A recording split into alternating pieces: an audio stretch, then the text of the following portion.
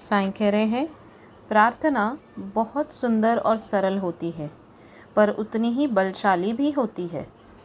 प्रार्थना करने वाले के लिए भी और जिसके लिए प्रार्थना की जा रही है, उसके लिए भी।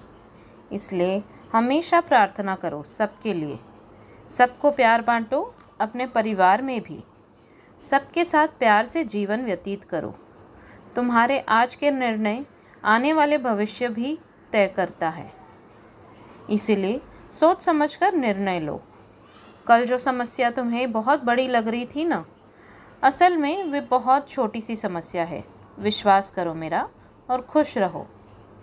Prayers are very beautiful and simple simplest yet strong way to connect with God it gives back much more blessings not just to you for praying for others but also to those for whom you have prayed So pray for everyone and not just for yourself. Love all, including your family. Live with your people around you with love. Your decisions of today will decide your future too. So think carefully and decide anything in life. The problem that seemed very big yesterday to you is very small in reality. Believe me and stay blessed.